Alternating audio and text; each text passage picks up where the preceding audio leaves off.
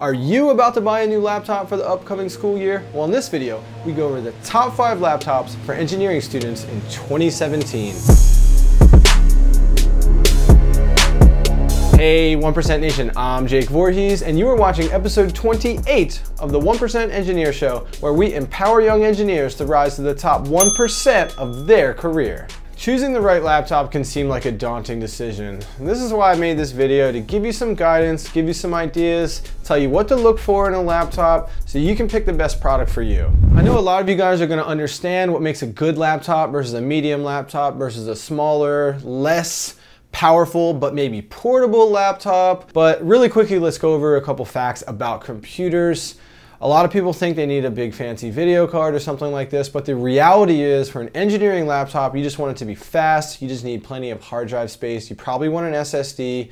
So you need to concern yourself with CPU, the processor. You need to make sure you have plenty of RAM, probably 16 gigs, at least 8 gigs of DDR3 RAM today. It's nice to have a solid state drive so your operating system is on that and your programs are on that, but all of your files, your storage, your lab stuff, your music, your videos is all on another hard drive that's most likely internal and you probably have an external hard drive as well. But you don't need some big fancy video card if you plan on doing a lot of gaming like I did in school. I was a big Diablo 2 player back in the day, StarCraft. So if you're gonna be involved with a lot of that, you should probably get a good video card along with your laptop, for example, not just onboard video, which is not gonna support a 3D engine very well. Otherwise, you don't really need it. You just want it to be fast, you just want a good CPU, you want good RAM, plenty of hard drive. Screen is something that a lot of people are confused by. They're attracted to a 17 inch screen, but the reality is if you go too big, it's gonna be heavier and you may not be as likely to take it out of your dorm room. And that defeats the whole purpose of getting a laptop. Then maybe you should get a desktop and you don't have any portability, but you're gonna get more bang for your buck for the processing power. So consider that. Think about your lifestyle as a student. Do you live on a big campus? Are you gonna be walking to class? Or if you drive or ride your bike, maybe you're a little more likely to want a bigger laptop because you're not gonna actually be carrying it and lugging around like hiking up mountains or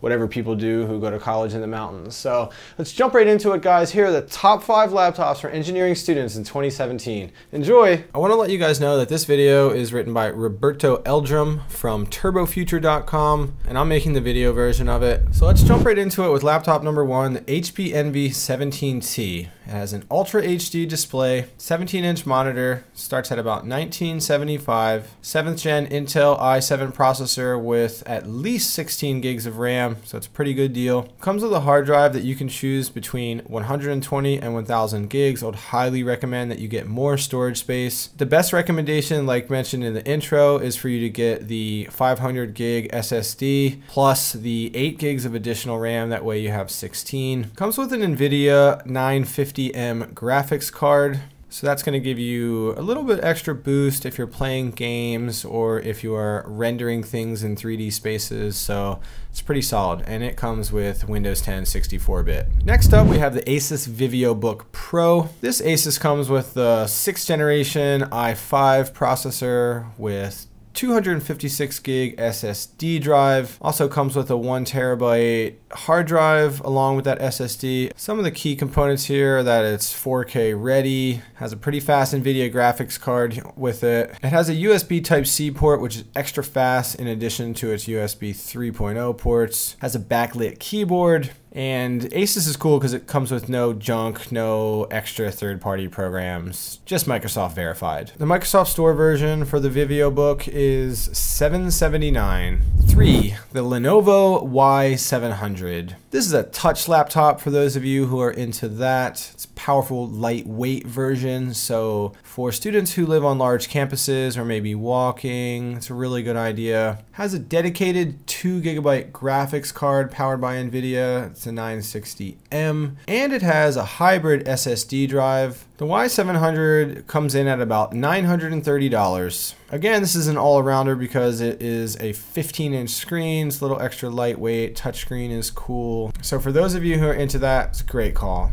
4. The Acer Aspire 15 gaming laptop. This comes in at 999. It's a mid-priced, high-powered laptop It's got 16 gigs of DDR4 RAM. Has really strong battery life for those of you who are on the move and want to be really taking advantage of a powerful computer. Comes with the NVIDIA GTX 1050 Ti graphics card. So this thing is souped up for you gamers out there, for you mechanical engineers who are going to be using SolidWorks and anyone else who's going to be using animation environments. This is a good laptop. This is a good option for you. And five, the fifth recommended laptop for 2017 is the Dell XPS 15. Has a true 4K HD monitor, so for you guys who are into Netflix and really like to watch a lot of videos, this is a good choice for you. Comes with Windows 8.1, so that's a consideration here if you want Windows 10. That does not come with this laptop. And it only has 8 gigs of DDR4, but DDR4 RAM is a lot faster than DDR3. So I would say that's okay. It comes with the i7 CPU and also a half a terabyte, so 500 gig SSD drive. I want to also mention that the XPS 15 has the NVIDIA 960M.